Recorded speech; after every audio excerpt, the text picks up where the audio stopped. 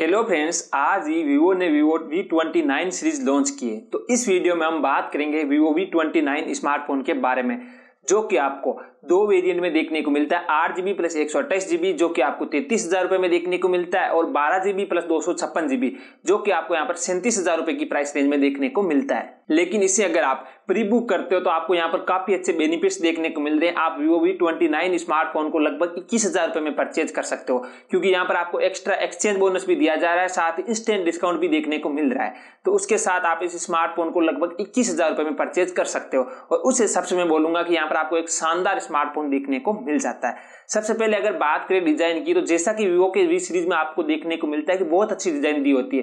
कुछ ऐसा ही यहाँ पर दिया गया है। इस बार यहाँ पर आपको थ्री पार्टिकल डिज़ाइन देखने को मिलता है, साथ ही कलर चेंजिंग डिज़ाइन तो दिया ही गया है। और बैक साइड में आपको ग्लास का बैग देखने को मिल जाता है। फ्रंट डिज़ाइन की अगर बात करें तो इस स्मार्टफ़ोन में आपको सेंटर पंचोल डिज़ाइन दिया गया है, साथ ही सिक्स इंच का वन के रिजोल्यूशन वाला three D curved AMOLED display दिया गया जो कि 120 ट्वेंटी के रिफ्रेश रेट के साथ आता है। और H D R ten plus का सर्टिफिकेशन भी आपको देखने को मिल जाता है और यहाँ पर आपको 1300 सौ निट्स की ब्राइटनेस का सपोर्ट भी दिया गया है।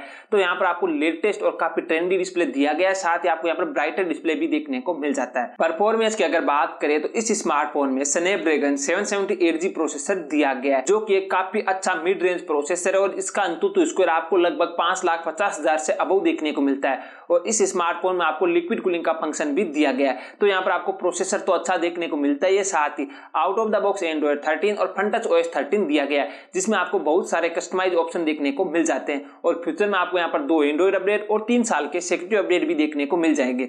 और इस स्मार्टफ़ोन में आपको LP D R four X RAM type और यूएफएस टू स्टोरेज टाइप का सपोर्ट दिया ही गया है। साथ ही आठ जीबी के वर्चुअल रैम का सपोर्ट भी दिया गया तो मैं अगर ओवरऑल परफॉर्मेंस की बात करूँ तो यहाँ पर आपको काफ़ी अच्छी परफॉर्मेंस इस स्मार्टफ़ोन के साथ देखने को मिल जाती है।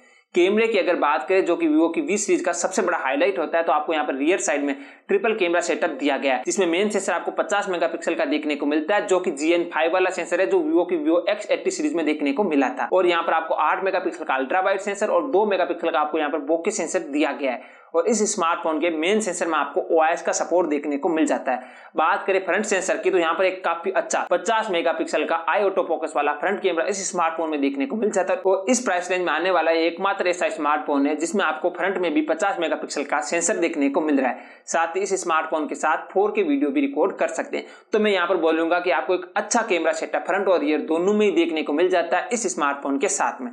बैटरी और चार्जिंग की अगर बात करें तो इस स्मार्टफ़ोन में आपको 4600 मिलियन आवर की बैटरी दी गई है। साथ ही 80 वोट की फास्ट चार्जिंग का सपोर्ट दिया गया है, जो कि इस स्मार्टफ़ोन की 50 परसेंट बैटरी मात्र 18 मिनट में चार्ज कर देता है। तो यहाँ पर आपको एक अच्छी बैटरी, साथ ही अच्छा फास्ट चार्जर दिया गया है। कनेक्टिविटी और सेंसर्स की अगर बात करें तो यहाँ पर आपको लगभग सारे के सारे सेंसर्स देखने को मिल जाते हैं, साथ ही इन डिस्प्ले फिंगरप्रिंट सेंसर भी दिया गया है। और इस स्मार्टफ़ोन में आपको एट फाइव जी के बैंड का सपोर्ट दिया गया लेकिन यहाँ पर आपको वाईफाई फाइव का सपोर्ट देखने को मिलता है, क्योंकि जो प्रोसेसर है थोड़ा पुराना है, इसी वजह से आपको यहाँ पर वाईफाई फाइव का सपोर्ट देखने को मिलता है। साथ ही ब्लूटूथ फाइव पॉइंट टू का सपोर्ट भी दिया गया। तो मैं यहाँ पर बोलूँगा कि आपको कनेक्टिविटी भी ठीक ठाक दी गई है। तो फाइनली बात करूँ कंक्लूजन की तो यहाँ पर आपको इस स्मार्टफ़ोन में तीन कलर वेरियंट देखने को मिलते हैं। स्पेस ब्लैक मेजेस्टिक रेड और हिमालयन ब्लू जो कि देखने में काफ़ी अच्छे लगते हैं। इस स्मार्टफ़ोन आपको काफ़ी अच्छा डिज़ाइन डिस्प्ले दिया गया है। साथ ही यहाँ पर परफॉर्मेंस भी आपको काफ़ी अच्छी देखने को मिलेगी। और यहाँ पर जो मेन चीज़ होती है वीवो के वी सीरीज़ की, वो है कैमरा वो भी यहाँ पर आपको काफ़ी अच्छा देखने को मिल जाता है।